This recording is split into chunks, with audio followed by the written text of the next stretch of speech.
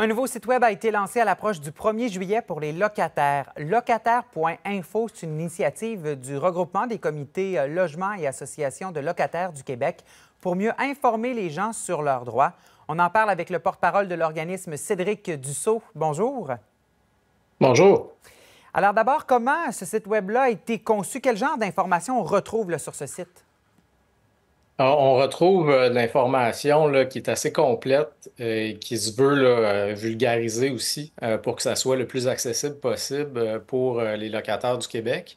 on va retrouver toute l'information dont les locataires ont besoin pour connaître leurs droits puis savoir surtout aussi comment les défendre. parce que c'est l'approche de, ce site qui se distingue d'autres ressources comme les ressources du tribunal administratif du logement ou euh, les ressources de sites juridiques comme Éducalois, c'est que ça se veut ancrer dans une approche pratique qui est celle euh, des comités logements. Puis quand vous recevez, par exemple, un avis d'éviction, un avis de hausse de loyer, concrètement, vous n'avez pas juste besoin de savoir quelle est la loi, mais qu'est-ce que vous devez faire. Donc, c'est dans cet objectif-là qu'on a lancé ce site-là. C'est pas un outil donc juridique avec un jargon juridique. On a vraiment donc euh, synthétisé l'information pour qu'elle soit compréhensible par les gens. Oui, absolument. C'est le plus compréhensible possible. C'est aussi euh, la façon dont le, site est conçu. Euh, on veut que ce soit le plus accessible. Donc, si vous avez de l'information sur, par exemple, des hausses de loyer, mm-hmm. vous allez consulter cette section-là, mais ça vous amène aussi à des liens qui vont être utiles euh, si vous euh, avez besoin, par exemple, de répondre à votre propriétaire, euh, on a des modèles de réponse pour, pour, différentes questions. Donc, la façon aussi dont c'est conçu, c'est fait pour que l'information soit très, très rapidement accessible, puis pas que vous ayez à chercher pendant des heures et des heures pour avoir les réponses à vos questions.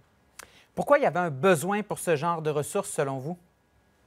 Bien, parce que, ben, premièrement, évidemment, la situation du logement fait en sorte que euh, les locataires mm-hmm. sont souvent confrontés à des problématiques, euh, des problématiques d'éviction, des problématiques de hausse de loyer euh, très, très élevées. Puis, ça devient difficile de se retrouver. puis, on a constaté dans les dernières années que les comités logement et les associations de locataires du Québec étaient vraiment surchargés. donc, on n'arrivait pas nécessairement à répondre à la demande. Puis, parfois, il y avait de l'information euh, qui, était, euh, qui, aurait pu être donné rapidement, mais simplement parce que euh, on était surchargé, on, ne pouvait pas répondre à ces informations simples-là. Donc, ce, site web, il, répond à ce besoin-là aussi. il répond aussi à un besoin qui est de, connaître concrètement qu'est-ce qu'on fait. Euh, pour euh, défendre ses droits. Parce que, comme je le disais, euh, il y a le site du tribunal administratif du logement, il y a le, site Éducalois, par exemple, mais ces sites-là se, veulent des sites qui informent simplement. nous, par exemple, ce qu'on met dans ce site-là, c'est un peu de contexte. Quand vous recevez un avis de reprise de logement, c'est important aussi de savoir que oui, effectivement, un propriétaire peut reprendre un logement pour un parent, un enfant, mais c'est important de savoir aussi qu'il y a beaucoup de propriétaires qui procèdent de mauvaise foi, c'est-à-dire qui essaient de reprendre le logement simplement pour pouvoir augmenter le loyer. Donc, c'est important de savoir ça quand on reçoit un avis parce qu'on n'y répond pas nécessairement de la même façon si on sait que c'est fait dans la légalité ou si mm-hmm. euh, on, soupçonne que c'est fait de mauvaise foi.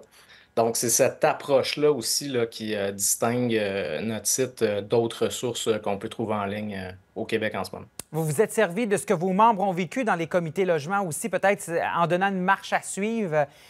Donc, ça peut éviter à des gens d'aller vous consulter parce qu'ils vont retrouver l'information là? Effectivement, c'est un, un, savoir collectif mm-hmm. euh, que les comités logements et les associations euh, de locataires du Québec ont développé au fil des ans. On a des, des, comités logements qui ont fêté euh, leur 50e anniversaire cette année. Donc, c'est beaucoup d'années d'expérience concrète là, dans l'accompagnement des locataires dans, dans, la défense de leurs droits. Donc, tout ce savoir-là, il, était, je dirais, peut-être parfois un peu euh, trop morcelé là, dans différents comités logements. Euh, donc, euh, on a rassemblé tout ce savoir collectif-là. On a essayé le plus possible euh, de mettre ça dans un même site web. Donc, les, locataires du Québec aujourd'hui, avec ce site-là, peuvent profiter de ce savoir collectif-là qui a été développé sur plusieurs années dans la défense des droits des locataires. Cédric Dussault, porte-parole du regroupement des comités logements et associations de locataires du Québec, merci beaucoup d'avoir été avec nous.